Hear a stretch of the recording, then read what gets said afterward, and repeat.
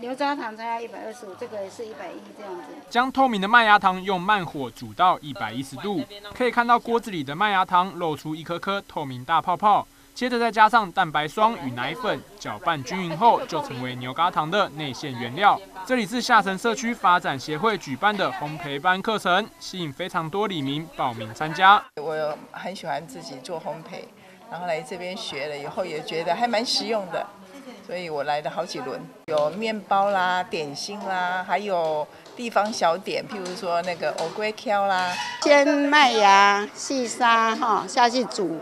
煮到一个程度嘛，哈，再放那个蛋白霜，要蛋白霜，哈，要打花，啊，再打花加加进去那个麦芽，哈，啊，再加牛奶奶粉。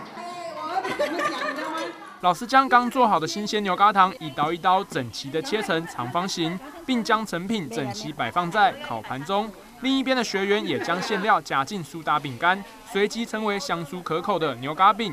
而下层李明也准备将这些技术全部学起来，打算用来送礼或贩卖。除了自己可以享受以外，享受美食，还可以分享亲友，而且可以联络感情。譬如说我逢年过节啊，做些小点心啊，去馈赠亲友，他们都很开心。牛轧糖以往快过年的时候是最风行的，牛轧糖啊、饼干这些，牛轧饼干这些。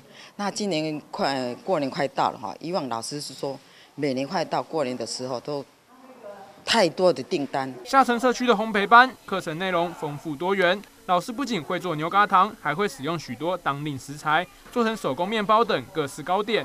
高超的厨艺技巧，望吸引许多居民前来报名，也让下城社区的烘焙班成为当地的一大特色。记者王振新采访报道。